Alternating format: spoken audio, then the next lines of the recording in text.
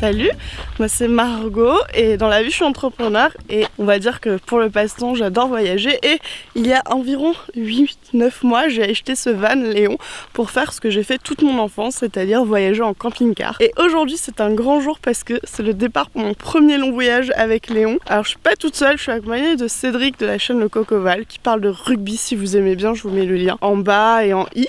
Et euh, en fait on avait un peu de temps, on pouvait se permettre de partir, c'est un miracle après des mois de travail intensif, en tout cas pour moi sur euh, tous les projets qui arrivent en 2019 et 2020. Du coup on se fait un road trip totalement improvisé, c'est un peu le gros avantage du voyage en camping-car. Et euh, on vient de faire euh, les 7 premières heures de route et on s'arrête aujourd'hui au niveau du lac de la forêt d'Orient. On a utilisé l'application Park Fortnite, donc c'était un parking qui est assez, assez bien noté en tout cas par les gens puisque réputé calme, super accueil camping-car dans le sens où bah, on a le droit. Et en fait, euh, hyper bien, parce que là, vous voyez pas, parce qu'il y a le soleil, mais le lac est à 50 mètres.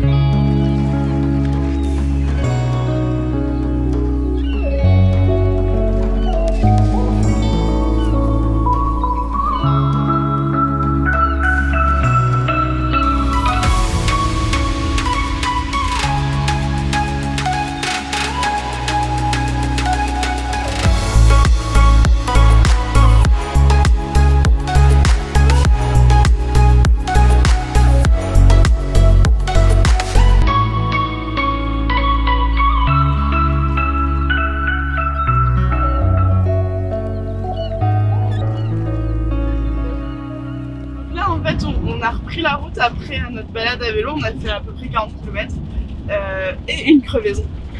Et on s'en va dans le parc du Morvan, qui est un peu au-dessus de l'Auvergne, qui est pas forcément très connu, mais qui est très chouette. Moi, j'y allais souvent petite avec mes parents. Et euh, c'est un endroit où il n'y a pas d'humains, il y a peu de routes, où il y a beaucoup de forêts. Et on se demande même s'il n'y a pas des elfes. On va voir. Là, on vient juste d'entrer dans le parc. Il nous reste 60 km. On vient de se stopper parce qu'au loin on a vu le, château de Bazoche. Il nous fait bien envie du coup on va aller voir si demain on peut le visiter. Puis en fait il est 19h du coup c'était le moment de s'arrêter. On était en train de chercher sur euh, Park Fortnite et le hasard a fait qu'on a vu le château, on a commencé à se dire tiens on va essayer de trouver genre le parking du château, voir si on peut y dormir. Et nous ne sommes pas les seuls à avoir eu cette idée. Donc euh, je sais pas si c'est un plan euh, par Fortnite qu'on n'avait pas vu ou si c'est le hasard du premier qui s'est garé là et qui a donné l'idée aux autres. Mais en tout cas, euh, c'est assez mignon. On est sur le bord de la route, mais on est dans le Morvan. En termes de passage, c'est plus ça devrait aller. Puis maintenant, on va aller se caler dans Léon et profiter un peu de, de, la soirée avant de visiter le Morvan que je n'ai pas fait depuis très longtemps et je suis trop content. Bon, ce matin, en fait, on a un peu le temps. Moi, ça me permet de travailler un peu. Alors là, Cédric est euh, à la douche, parce que oui, on peut se doucher. On en profite, ça fait plusieurs jours, donc euh, de temps en temps, on se douche. Comme on est encore hors camping, on n'a pas d'électricité. Et pour ça, j'ai un super truc.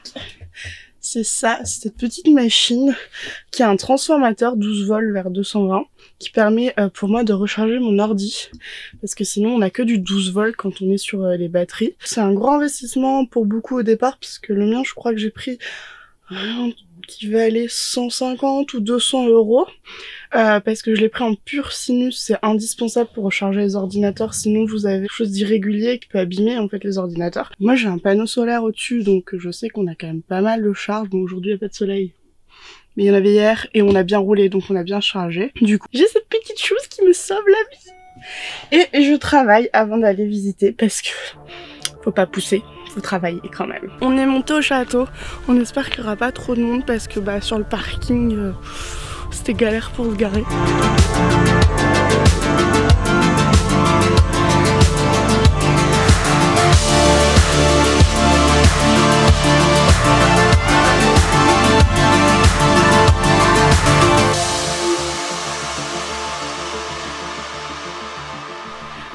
Petite pause sur le chemin, on a vu qu'il y avait une borne de vidange des eaux sales pour les camping-cars. En général, on peut remplir l'eau et vider les toilettes chimiques. Là, aujourd'hui, ce qui nous intéresse principalement, ce sont la vidange euh, des eaux sales parce que notre euh, réservoir est plein. Et on va faire ça avant d'enchaîner avec le saut des goulous. Alors, du coup, c'est une aire où tout est gratuit, c'est-à-dire qu'on peut vider les eaux grises. Donc, c'est ce que je fais juste ici.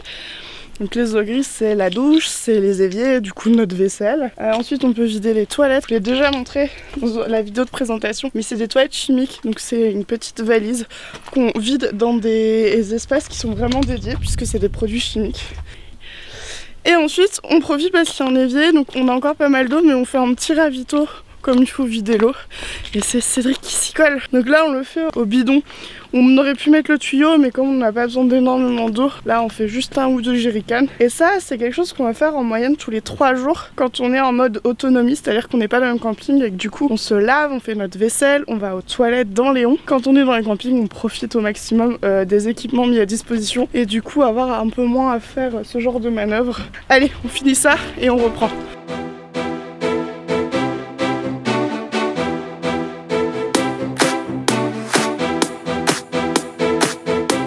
Commence la balade du saut du Goulou euh, qui va nous mener à une cascade. Alors c'est une balade assez accessible, hein. elle fait 1 km et euh, il y a un parking, tout est aménagé donc euh, c'est je pense l'une des choses les plus connues du Morvan. Mais on profite de la basse saison pour faire les lieux touristiques un peu déserts du coup.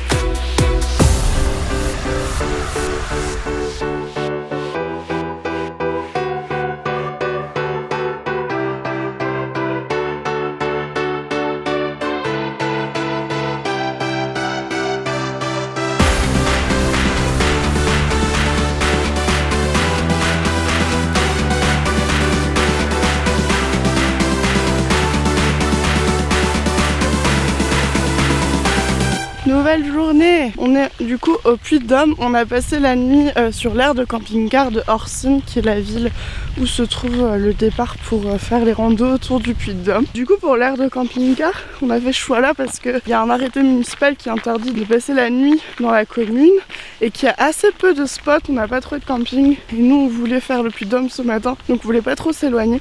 Du coup on est sur l'air, il personne, elle est très propre. C'est 8 euros la nuit et alors le petit reproche c'est que tout est après.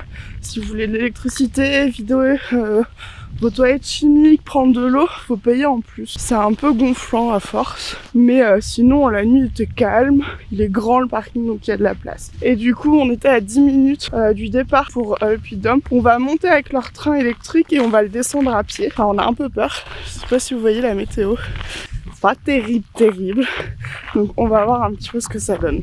Oh là là, c'était une chouette balade. Non, très concrètement, à l'accueil, ils nous ont plutôt déconseillé de monter. C'est euh, archi couvert, on n'a aucune visibilité. Et euh, il nous a dit que ça allait pas se lever aujourd'hui.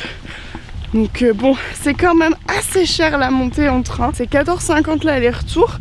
Nous, on comptait faire que l'aller et descendre à pied, donc c'était quand même 12 euros. J'hallucine de la non-différence de prix.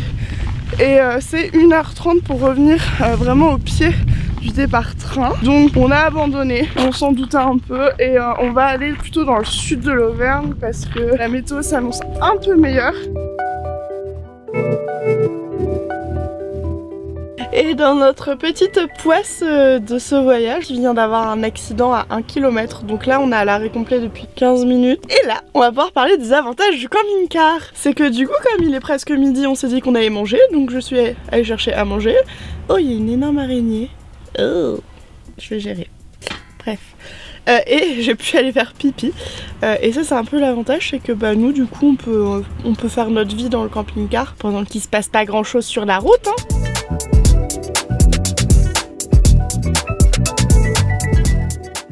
On a pris une épopée qui a été compliquée parce qu'après les bouchons, on s'est euh, retrouvé sur des chemins qu'on ne pouvait pas prendre avec les ondes GPS. N'ayant pas cette information-là à plusieurs reprises, on a dû faire des demi-tours un peu chauds. Mais on a fini par réussir à atteindre le puits envolé. Et en fait, le camping est au pied de la ville. Euh, du coup, c'est assez pratique, euh, même si ça sera un petit peu bruyant par rapport à ce qu'on a fait jusque-là. Mais l'avantage, c'est qu'on va pouvoir éviter la ville à pied. Allez, on y va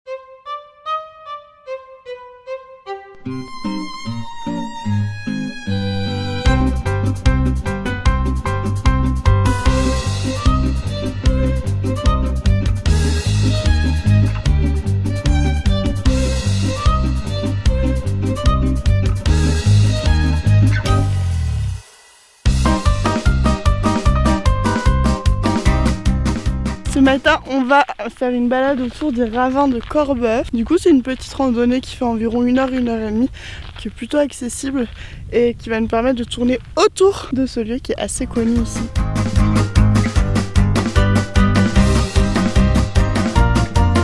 Bah, on a laissé Lyon avec une très jolie vue et on s'en va découvrir la cascade de Baume qui est une grande cascade qui fait 27 mètres de haut et qui se trouve à 900 mètres d'altitude. Du coup, Léon a su monter jusque là, je suis très fière. Et c'est parti pour 20 minutes de marche.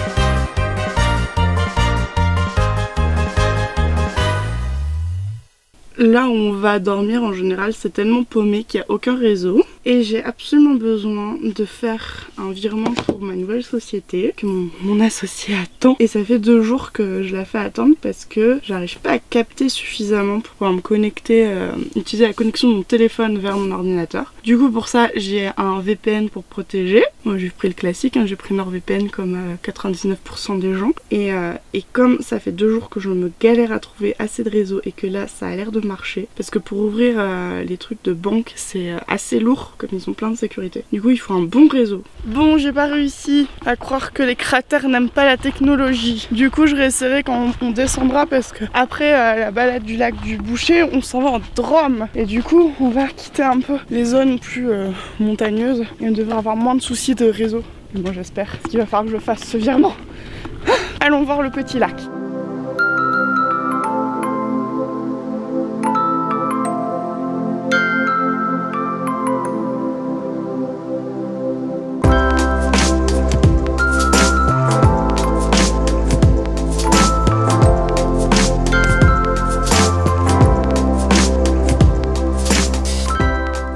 On est arrivé dans la Drôme et après avoir fait euh, le palais idéal du facteur cheval, on a voulu aller faire les labyrinthes qui sont certes destinés aux enfants, mais on voulait y aller, sauf que c'est fermé Ça ouvre que aux horaires des enfants.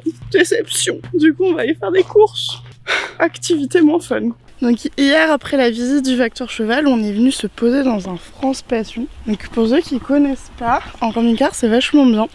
Euh, en gros, c'est un livret dans lequel vous avez des adresses où vous allez pouvoir dormir pour une seule nuit. Euh, c'est gratuit. En fait, en général, vous allez dans des fermes ou des auberges qui vous laissent un peu de place. Bah, comme ici, en fait, on est dans une ferme qui produit du cidre, du jus de pomme, etc. L'idée, c'est un peu le, concept de l'entraide. Donc, eux, ils nous laissent dormir ici.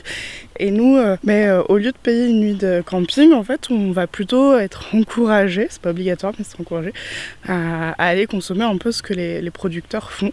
Nous, on s'est lâché sur le cidre et le sirop parce que c'est des choses qu'on aime bien. Et du coup, euh, une fois qu'on s'était posé ici, en fait, on a rejoint mon grand frère qui est euh, dans la région et on a passé la soirée là-bas. Et ensuite, on est revenu dormir ici avec Léon au calme. C'était vachement bien. Et aujourd'hui, on s'en va donc visiter la Drôme. Alors, moi, je connais bien, mais du coup, on va faire découvrir un peu euh, à Cédric qui connaît un peu moins le coin. Donc là, bah, en fait, on est en train de préparer Léon parce que tous les matins, il faut tout ranger pour être sûr que rien ne bouge. Et on y va.